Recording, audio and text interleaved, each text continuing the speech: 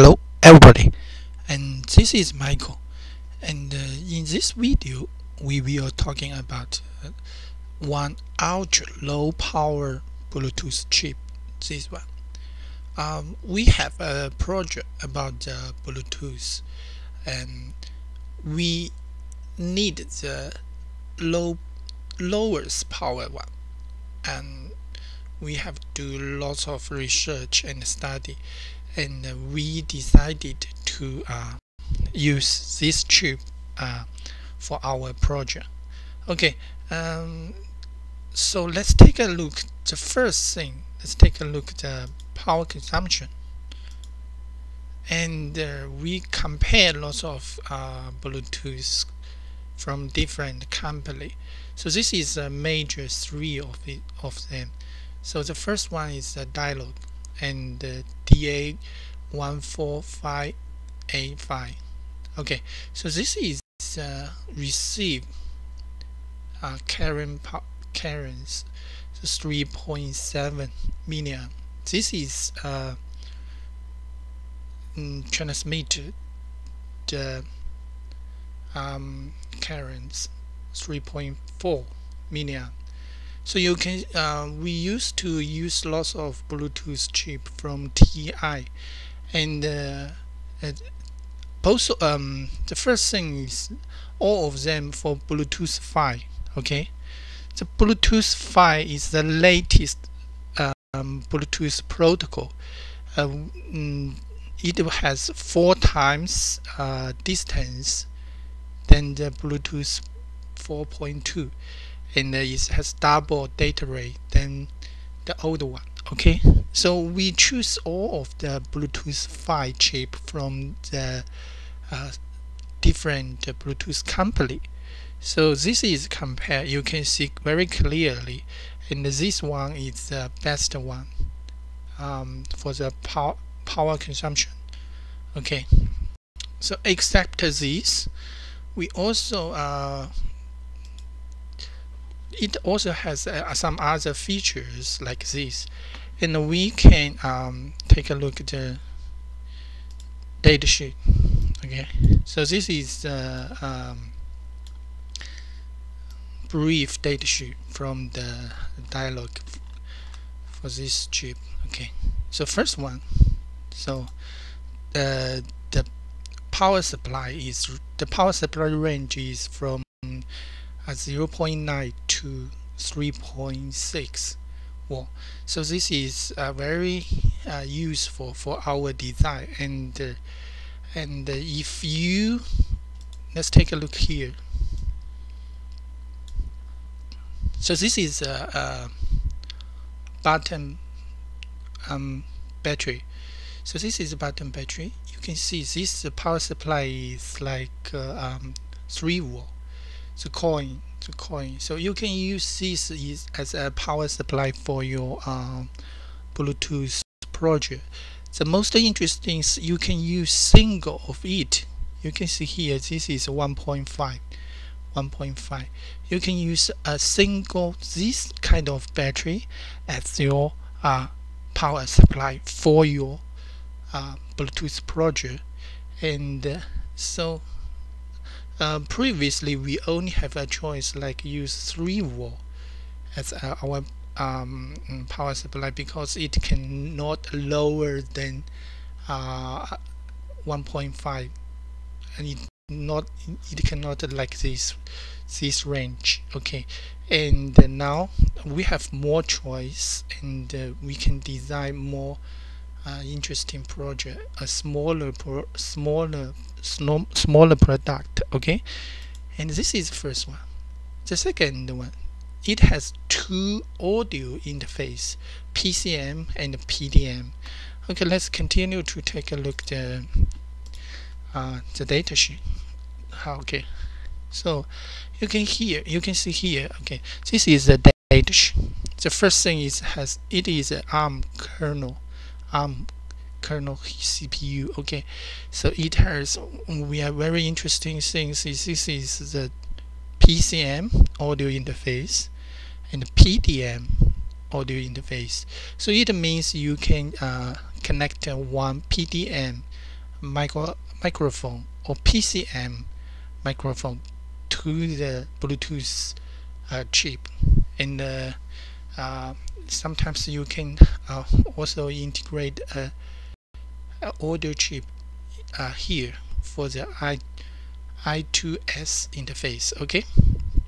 So this is uh, interesting.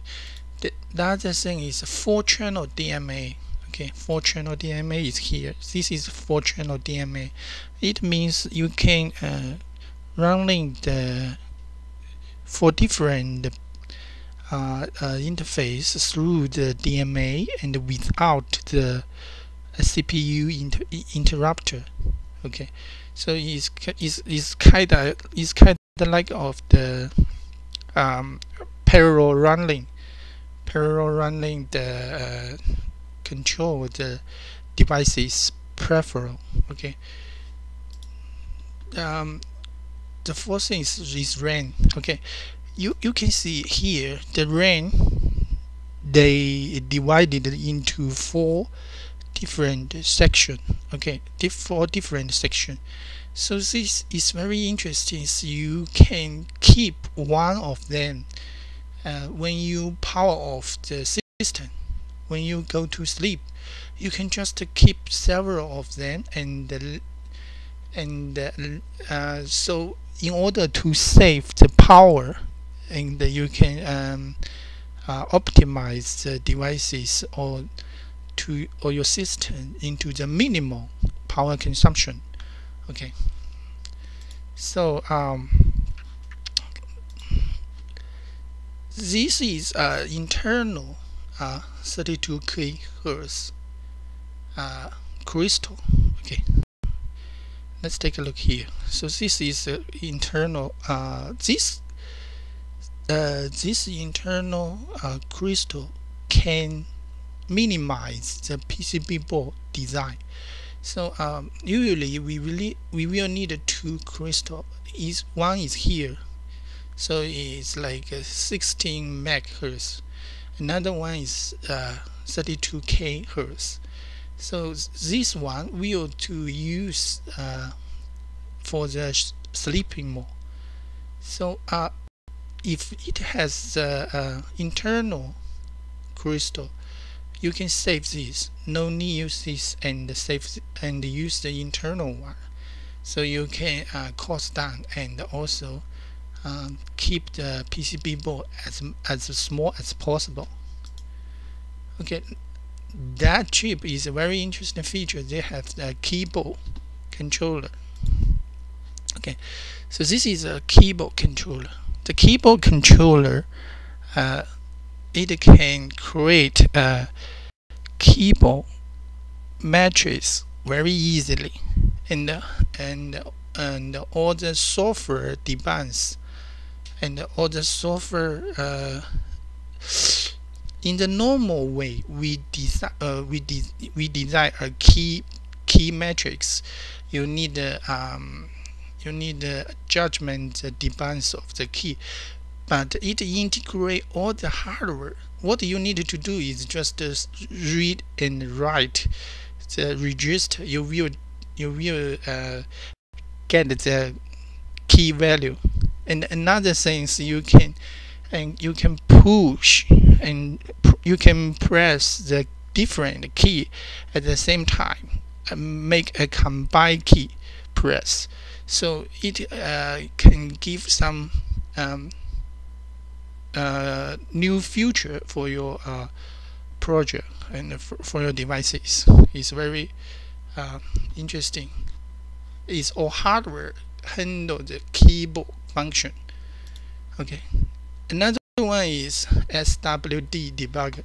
And if you if you uh, have played with the ARM, and then you will know the SWD debug is very convenient. It only need the uh, clock and I/O um, for the debugging. Of course, we need added the power and ground. So uh, the debug interface is very simple and efficient. Okay. Uh, the last one is uh, chip size. it support it is the smallest one chip currently. Let's take a look at the uh, chip size. So this is uh, very very small and uh, and 2.4 millimeter and uh, by the 2.66 millimeter. And uh, this means you can design the uh, uh, chip as small devices as small as possible and uh, you can see it supports Bluetooth 5 and there is lots of uh, other feature for these devices. And uh, we are thinking uh, if some if more people interested we will make a, a um, study board and to produce some uh, lessons for it and video for education purpose okay. Okay uh, this is for this video. I'm Michael